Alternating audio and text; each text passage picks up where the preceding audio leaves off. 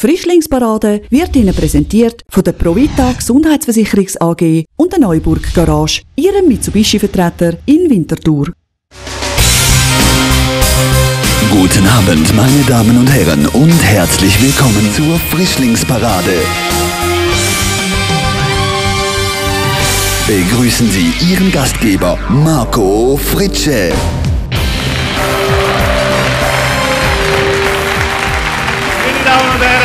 Herzlich willkommen im Casino Theater. Schön sind Sie da. Herzlich willkommen auch alle daheim an den Bildschirm, meine guten Stoben auf Teletop. Schön sind auch Sie dabei.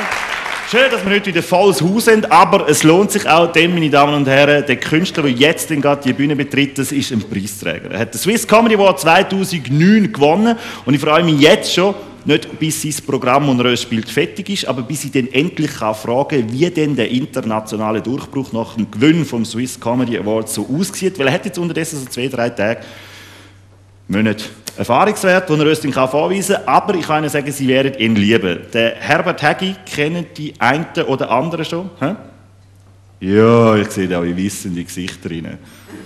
Oder tu zumindest so, hä? bin nicht ganz sicher. He? Reto Zöller sagt aber allen etwas vom Namen, eben welchen den Preis gewonnen hat und welchen viele von Ihnen sicher schon gesehen Er ist jetzt vielleicht nochmal der frischlichste Frischling. Habe ich gesagt, frischlichste Frischling? Das existiert nicht. Nicht der frischeste Frischling, aber es ist schön, dass wir uns in der Frischlingsparade hier auf der Bühne im Casino Theater ist. Meine Damen und Herren, jetzt ein herzlichen Applaus mit seinem aktuellen Programm Seitenscheitel, der Reto Zeller!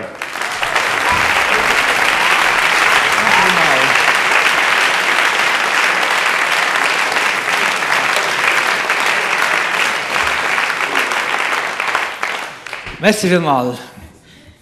Hey, habe ich gelitten das Wochenende wieder. Michael Schumacher ist bis im Comeback-Versuch Nummer Sechster geworden. Als Schweizer Steuerzahler ist das ein äh, herber Schlag für uns. David Beckham hat die Achillessehne gerissen und der FC Basel ist immer noch nicht näher an IB, wobei das ja auch seine Gründe hat.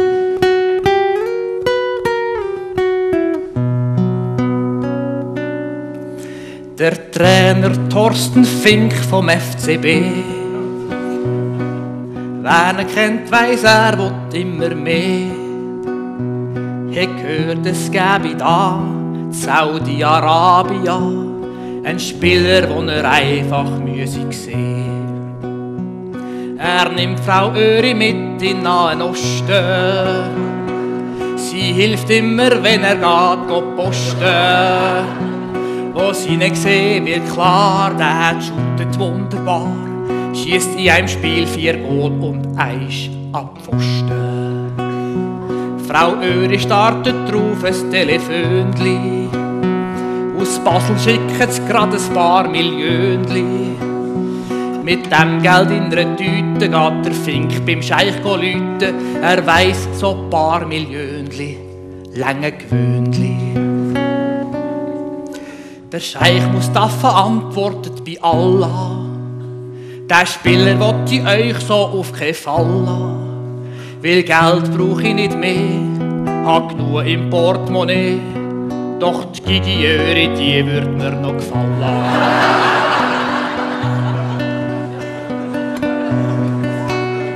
Der Thorsten meint, leck Bobby, was er will.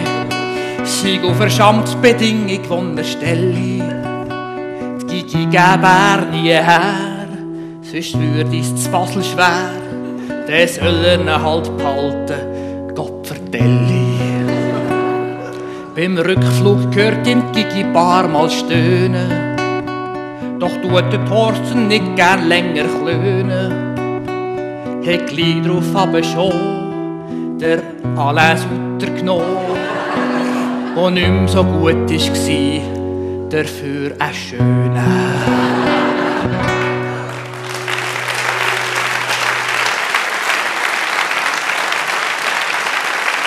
Merci vielmals. Danke vielmals. Ich bin auch froh, dass Sie jetzt da geklatscht haben. Ich war nämlich noch Mittag unsicher, ob ich das bringen soll, ob das passt ein Fußballlied vor einem Kulturpublikum. Das ist ein bisschen, wie wenn du an einer Dignitas-Versammlung einen Nothelferkurs anbietest.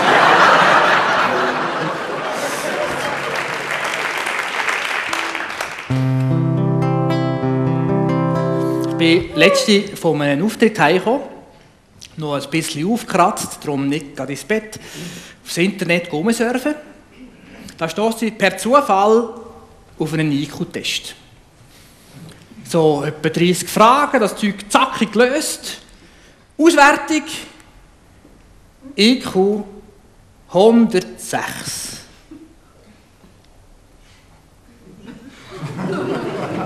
Da hat jetzt doch ein bisschen mehr Reaktionen erwartet.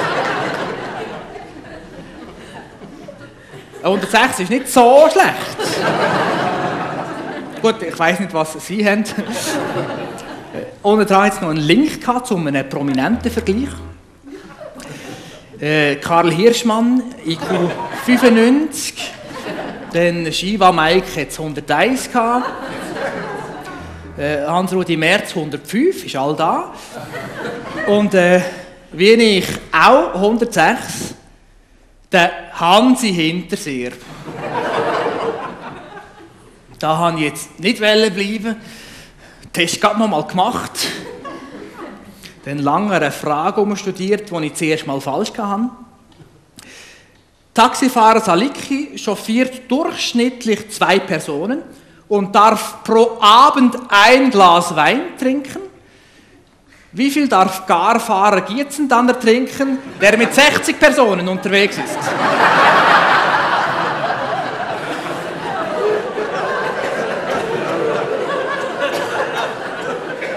Kreuzchen einfach am anderen Ort wie das erste Mal gemacht und prompt Auswertung IQ 108. Prominenter Vergleich 108. Peter Reber. Gerade ein Lied schreiben, um zu schauen, ob das auch so gut kommt wie beim Peter. Und entstanden ist das Werk da.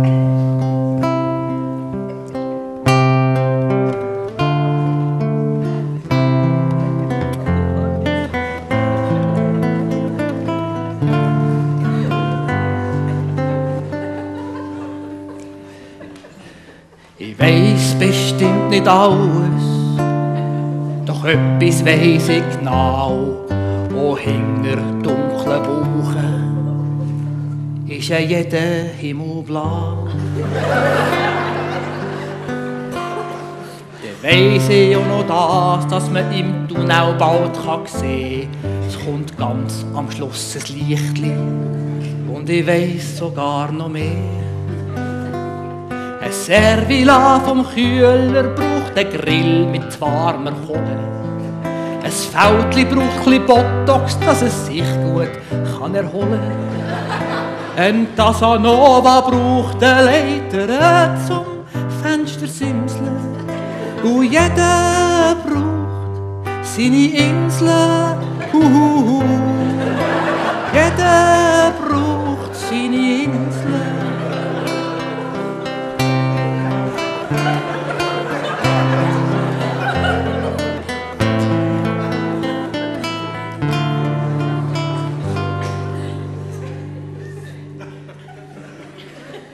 Glaub bestimmt nicht alles, doch etwas glaub ich schon. Ein Kind braucht um all die Peitsche, bis zum Zuckerbrot wird kommen. Ein Hammer, der braucht Nägel, weil nur so scheint für ihn die Sonne. Ein Hamster braucht sein Rädli und ein Froschkönig sein Brunnen. Ein Ross, das braucht sein Metzger, jeder Schweizer braucht sein Gewehrli. Mit dem im Anschlag macht doch manchen Einbrecher ein Kerl. Und alle brauchen Bank, dass sie es Ersparte kann verzinseln. Jeder braucht seine Insel, huhuhu. Jeder braucht seine Insel. Ein Pfarrer braucht eine Kille, ein Kille, die braucht nichts. Und Leute, die brauchen Predigten, sonst nützt doch Kille nichts. Und Predigten, die brauchen ein bisschen Geist, um sie zu verfassen, dass die Leute wollose Freude haben, bevor es nachher geht, jassen.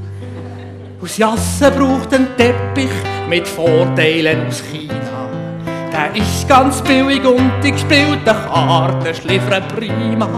U China, das braucht Taiwan, ganz egal wie fest die Winsle, weil jeder braucht doch eine Insel, hu, hu. Jeder braucht doch eine Insel.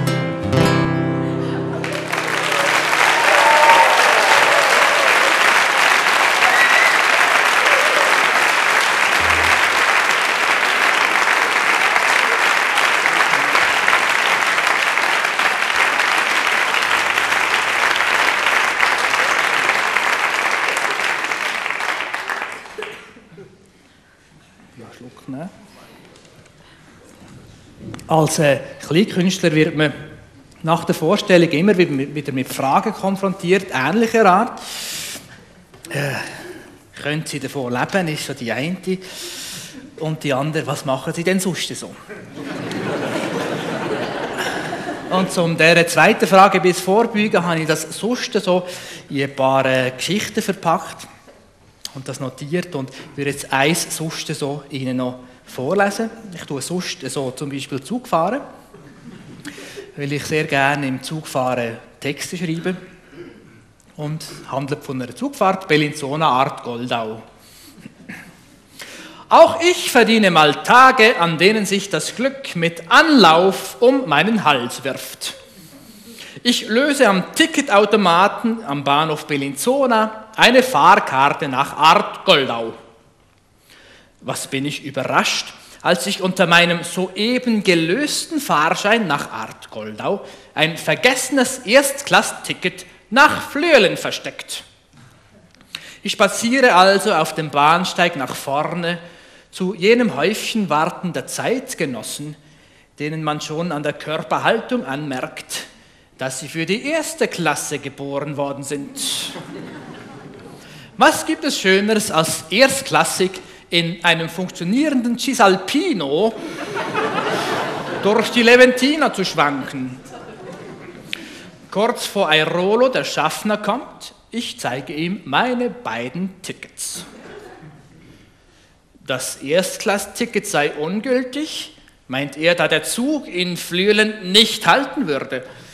Wenn ich in der ersten Klasse sitzen bleiben wolle, müsse ich einen Klassenwechsel Bellinzona Art Goldau nachlösen, macht 13 Franken 50.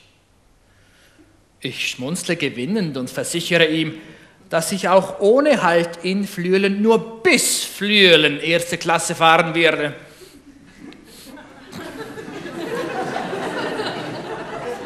Darauf er ansteckend zurücklächelt, Flüelen existiere SBB-technisch für diese Fahrt gar nicht, da der Zug da keinen Zwischenhalt habe.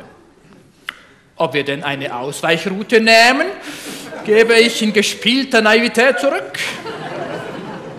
Nein, natürlich nicht. Nach Goldau müsse man selbstverständlich überflügeln. Aha. Ich spüre, ich habe ihn schon etwas in die Enge getrieben.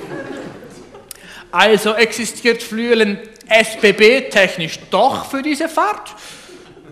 Er brummelt etwas Unverständliches und tippt auf seinem roten Kästchen herum, das ihm wie eine Damenhandtasche von der Schulter hängt. Eine Übersprungshandlung, weiß ich noch aus dem Mittelschulbiologieunterricht. Die schwangere Dame im Nachbarabteil verdreht vielsagend ihre Augen. Ich merke instinktiv, auch sie ist auf meiner Seite.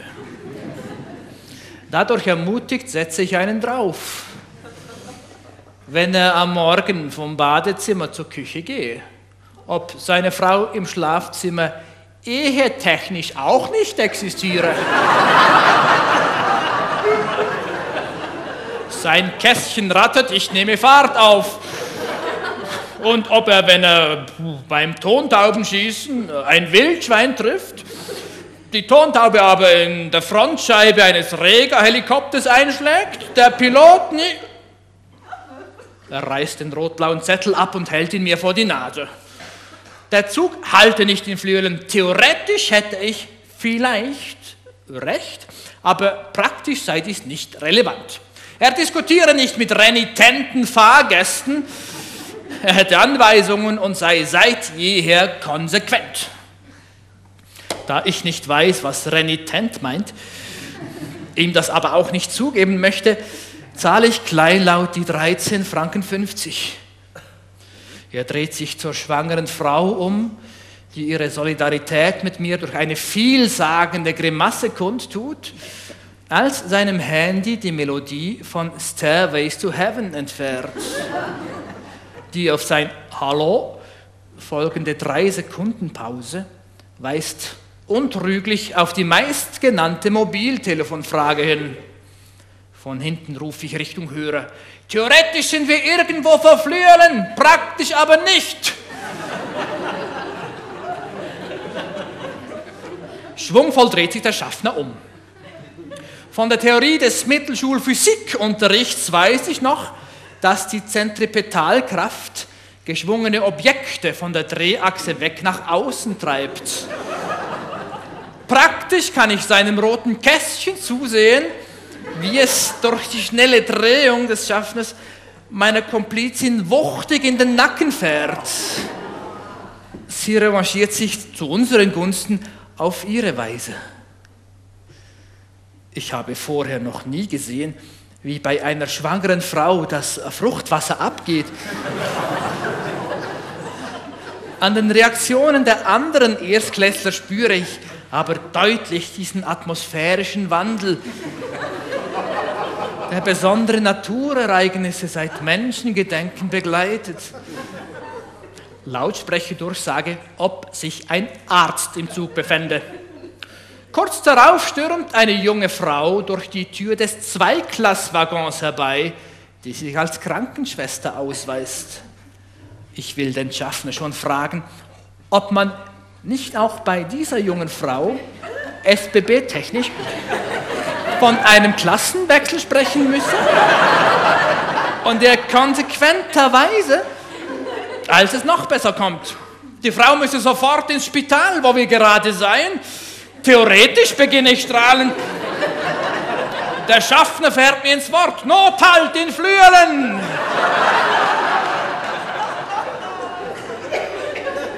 Nach dem Halt in Flüelen wechsle ich nicht ohne eine gewisse Genugtuung in die zweite Klasse.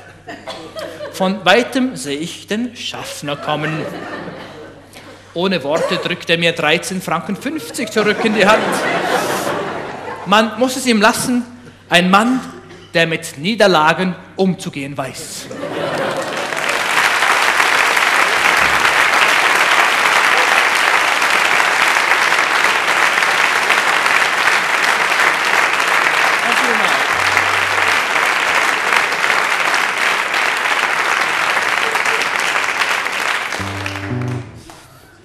Und mit dem letzten Lied werde ich mich von Ihnen verabschieden.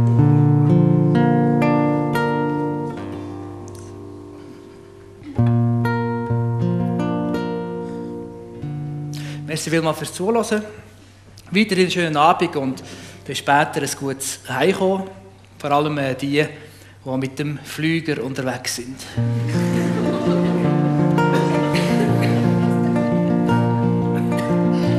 Wind Nordost über dem Rhein. Weit um dröhnen zwei Motoren. Da fliegt ein Sportflugzeug vorbei. Manni hinter Reinhard vorne. Sie schweben zufrieden über das Land, über die Weinberge zu Schaffhausen. Reinhard steuert mit einer Hand, der Mani tut Fuße. Der Reinhard singt selig, über den Wolken, da ist es so schön. Alle Ängste, all die Sorgen, lala, sind hier oben verborgen, oh ja. Die Aare da unten ist wirklich ne Pracht. Der Mani erwacht, rief nach Führe, dass der Rie. Die Aare ist nicht da im Norden hockt grad her, sieht er bei. Das Benzin wird knapp, das macht ihm Sorgen. Schau der Sprit, wir müssen landen. Reinhard singt die schöne Ehre. Hey, da vorne hast verstanden. Eine so wunderbare. Und über den Wolken bin ich immer so grenzenlos frei. All die Ängste und die Sorgen, lala, sind hier oben verborgen, oh ja. Reinhard, der Dank, lass mir fliegen im Wind. Aber Reinhard gehört nicht. Aber los ruft man hinten. Kopf ist tut's mir hey nicht zu. Reinhard singt, ich lieb die Winde. Manni Landeskopfertelli. Sonst gehen wir da ins Tal. Reinhard singt die schönen Hügel. Hey, begriff endlich einmal, wie breit sind meine Flügel. Und über den Wolken muss die Freiheit doch oft mal wird still. Nämlich weil nicht das Benzin jetzt ausgeht, auf das Mal Schwiegebet, hey gar nicht mehr gesagt und der Flugüberwacher vom Flugplatz Schmerlatt hat seinen Job gründlich satt.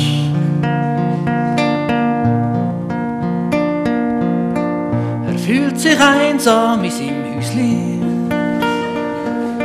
Am Wochenende ist besonders schlimm. Ist mir braucht glaub schnell mal ein Füßli. Der Boden wankt leicht unter ihm. Er nimmt noch ein Campari Soda. Weit über ihm ist Nebelmeer. Radarschirm verschwindet ganz langsam. Ein Pünktli, es gibt's auf das Mal nicht mehr.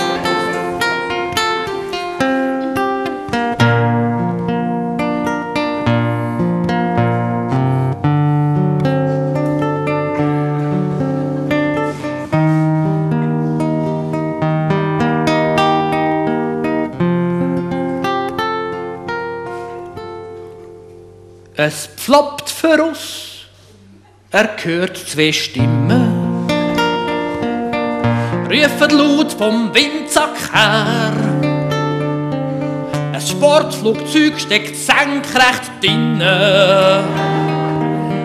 Er schaut aufs Glas, schon wieder leer.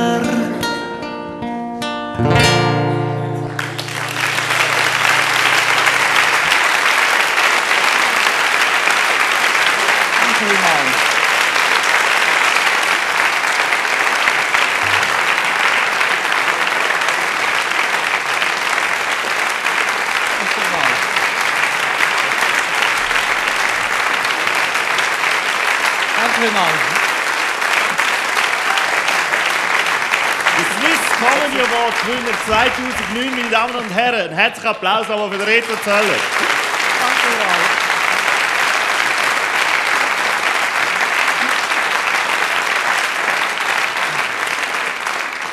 Reto, Seitenscheitel heißt das aktuelle Programm und du schon eine Weile mit dem unterwegs bist. Dort kommt aber der Herbert Hegi, den ich am Anfang auch erwähnt habe, auch dran vor. Wieso ist der heute daheim? Ja, der hat ein Problem mit seiner Mutter im Moment. Ja, voilà. so kommt's. Der hat dann auch im Programm Seitenscheitel-Problem mit seiner Mutter, aber heute sind es drastischer geworden. Ja, sie ist, äh, hat einen Unfall gehabt im Aquafit. Okay. Aber wie es dazu gekommen ist, kann ich jetzt nicht erzählen, es wird lang dauern. Du schaffst auch mit Erwachsenen in der Erwachsenenbildung. Du bietest auch Lektionen und Kurse an für Firmen. In welchem Bereich spielt sich das ab, Reto? Das ist äh, früher, früher vor, vor vier, fünf Jahren, ist das sehr stark, äh, kann ich Kommunikationskurs gegeben mit so viel Theaterelement und das hat sich jetzt ein bisschen gewandelt. Im Moment sind es äh, Improvisationskurs, Spontanität, alles in diesem Bereich auftreten und so, so Geschichten. Wege zur Improvisationskompetenz. Mhm. Habe ich mir da aufgeschrieben auf meinem Zettel, weil ich Angst habe, ich vergesse es tot zu ja, Wege zur Improvisationskompetenz klingt eigentlich fast wie ein Programmtitel. ja. Also, du machst das aber ernsthaft? Äh, ich habe früher auch hier auf der Casinobühne Impro-Theater gespielt wo da jeder Dienstag, glaube ich, also Theatersport, Theatersport ja. pro Monat da ist und von dort her, das ist ja eine Sache, die ganz viel Übung braucht und wenn man so ein bisschen in der Schule tätig ist, merkt man, dass man viel von diesen Grundübungen kann in der Schule übernehmen kann. Und äh, die brauchen zum, äh, zum Manager-Training, Mitarbeiterschulung in diesem Bereich einfach mit den Leuten arbeiten. Und die müssen dann sehr viel tun, die müssen sich sehr viel bewegen und sehr viel den, den Kopf lüften. Und das ist für mich sehr les. Und da schließt sich der Kreis wieder zum Aquafit, habe ich das Gefühl, einfach ohne Wasser. Ja. für, für, dich sehr lässig. Ja. Was macht dir mehr Spaß? So Erwachsenenbildung oder so Firmen ein bisschen auf Vordermann bringen, rein sportlich, oder die einfach mal so richtig durchzuknusten oder da auf der Bühne stehen vor einem Publikum? Das ist mm. ganz schwierig zu sagen. Ich tue, gern, ich tue extrem gerne spielen. Ich spiele gerne auf der Bühne, ich spiele gerne mit Publikum, aber auch in der Erwachsenenbildung, da kommt es ein bisschen darauf an. Es gibt, äh, es gibt Firmenchefs, die finden, ihre Mitarbeiter hätten es sehr nötig, mal ein Seminar zu besuchen. Und die schicken dann so den ganzen Staff zu mir und das ist dann sehr, sehr eine schwierige Geschichte in dem Moment. Und einfacher und spannender ist, wenn Leute sich frei anmelden und, und das wenden. Und dann ist es Freiwillig kommt einfach schon besser. Ja. ja. ja. meistens wahrscheinlich auch für die Jagd. Aber jetzt, meine Damen und Herren, für den Reto Zeller nochmal einen herzlichen Applaus. Danke vielmals, bist du da mit Seitenzeitung. Der Reto Zeller.